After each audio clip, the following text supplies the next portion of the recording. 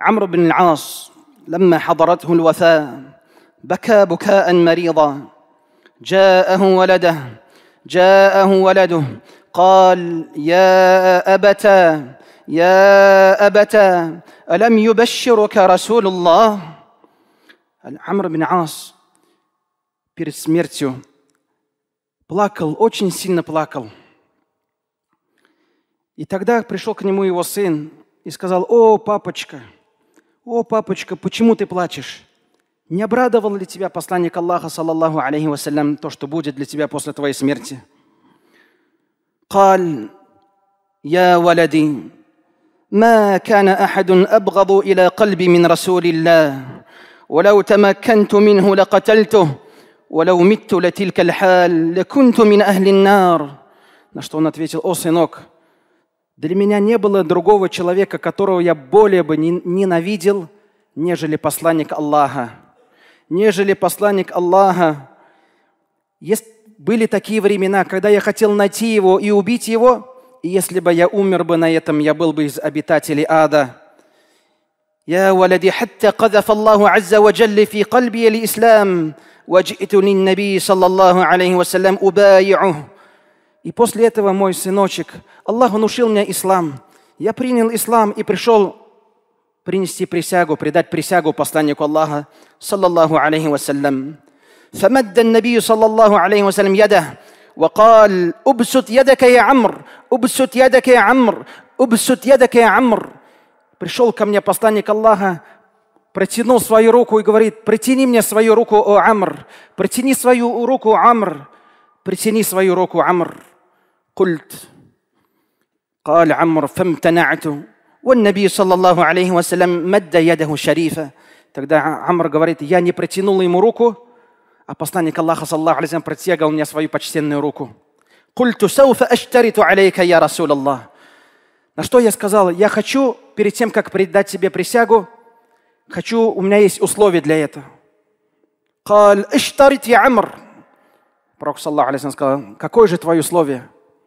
قال أن تغفر ذنوبي. Я хочу, чтобы Аллах простил мне все грехи. فقال النبي صلى الله عليه وسلم يا عمرو اما علمت ان الاسلام يهدم ما قبله وان الحج يهدم ما كان قبله На что ответил посланник Аллаха, саллаллаху алейхи вассалям, «О, Амр, неужели ты не знал то, что ислам прощает все, что было раньше, и хадж, большое паломничество, также прощает все, что было раньше?» Уважаемые братья, когда мы говорим об этих благословенных дней, которые перед нами предстоят, Дуль-Хиджа, мы говорили, сказали то, что самое великое поклонение в этот месяц – это хадж.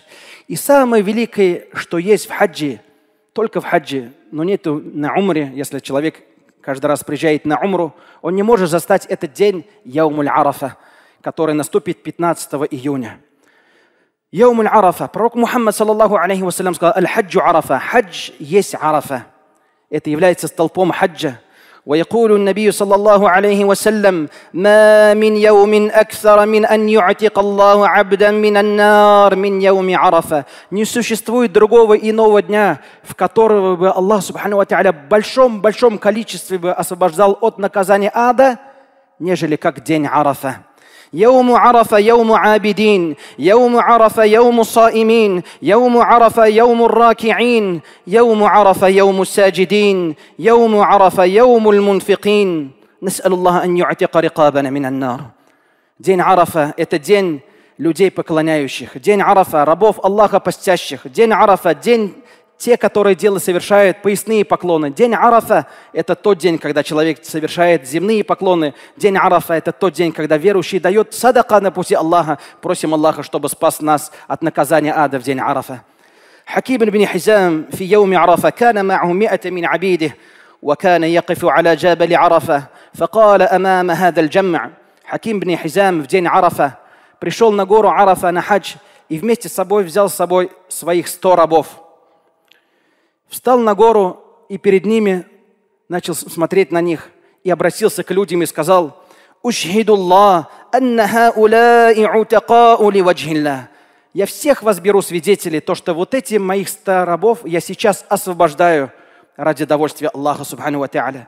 وضج الناس بالبكاء على عرفة وضج الناس بالدعاء يقولون И тогда все люди заплакали и начали обращаться к Аллаху Субхану Ва Та'аля, плачут и говорят, يقولون يا رب يا رب إن هذا عبدك قد أعتق عبيده لوجهك الكريم يا رب ونحن عبيدك فأعتق رقابنا من النار обратились к Аллаху и сказали о наш Господь я Аллах это твой раб это один из твоих рабов освободил сто рабов ради твоего довольствия о Аллах мы твои рабы освободи нас от наказания ада يقول ابن مبارك دخلت على سفيان الثوري في عشية عرفة وقد جف على ركبتيه فنظر إلي وعيناه تبكيان ابن مبارك говорит зашел я к Суфьяну Thаури во время Арафа, когда уже солнце уже уходило, наступал следующий день,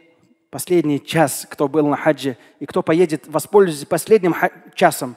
Даже если кто не поедет в этот день, здесь остается не поедет на хадж день Арафа, поститесь. День Арафа для того, кто не совершает хадж, пост день Арафа прощает грехи двух лет, прошлого года и будущего года. И последний час не посвящайте никому, кроме Аллаха Субхану Ва Та'аля.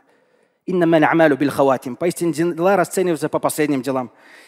Последний час пришел Суфиян Thаури, Ибн Мубарак к Суфияну Thаури и обратился к нему. И видит то, что он на коленках сидит и плачет. И тогда спросил его, «Культу лаху, ман асва хадаль джамма?» Кто самый несчастный сегодня в день Арафа? Кто самый несчастный?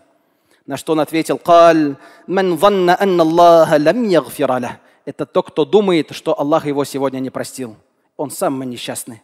Поэтому мы надеемся на прощение Аллаха, субханаху ва та'аля. В этот день Аллах больше всего освобождает от наказания ада в день Арафа, который наступит в этом году 15 июня. يقول أنس كادت الشمس أن تغوب ونحن في عرفة. Анас бин Малик говорит, во времена посланника Аллаха, саллаху алейхи вассалям, вот уже заканчивался день Арафа. Целый день мы делали дуа, и вот уже уходило солнце, наступало Магриб.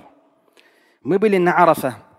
فقال النبي صلى الله عليه وسلم Тогда пророк Мухаммад, саллаллаху алейхи вассалям, обратился к Билялю и сказал, «Я Биляль, я Биляль, я Биляль, о Биляль, о Биляль, о Биляль, ансит ли нас. Попроси людей, чтобы послушали и помолчали. فقال فقام بلال وقال انصتوا لرسول الله صلى الله عليه وسلم Тогда Биляль встал и сказал, слушайте, молча слушайте посланника Аллаха, саллаллаху алейхи вассалям. فقال النبي صلى الله عليه وسلم И тогда пророк Мухаммад, саллаллаху алейхи вассалям, сказал, «Джаани Джибрили анифа, ва акраани мин рабби ассалам» пришел ко мне сейчас Джибриль, алейхиссалям, передал салам от Аллаха, субхану ва та'аля. وقال لي и сказал мне, «Инна Аллаха قد غفر لأهل عرفات». Аллах простил всех, кто были на Арафате. Аллах простил всех, кто были на Арафате. وَلِ أهل المشعر الحرام وضمن عنهم التبعات и Аллах простил их притеснения, которые они совершали. Попросили Аллаха прощения, все Аллах простил им. И тогда встал кто? قام عمر عمر بن الخطاب رضي الله عنك يا عمر В этот момент хочется отдельно еще сказать, пусть Аллах будет доволен тобой, я Умар, за то, что ты спросил этот вопрос посланника Аллаха, который мы сейчас услышим. فقام عمر رضي الله عنه وقال ألنا خاصة О Аллах, Аллах простил всех, кто был на Арафате, только нас, сподвижников, сахабов, мухаджиринов, ансаров, только нас Аллах простил. قال النبي صلى الله عليه وسلم لا Посланник Аллаха, саллаху алейхи сказал, нет, не только вас. Лякум валиман джаа мин ба'дикум иля қиямис Аллах простил вас и те, кто приедут сюда на Арафат после вас до судного дня, кто будет приезжать, просить прощения, всех Аллах, субханаху ва будет прощать.